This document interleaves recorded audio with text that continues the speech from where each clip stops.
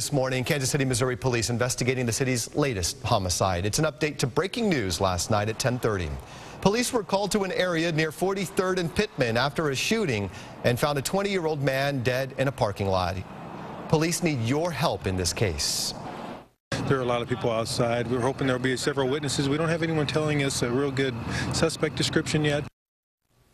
Police say that they are looking for a black Chevy Malibu that was last seen leaving the area. It, this vehicle was headed westbound. If you know anything about this, call the TIPS hotline.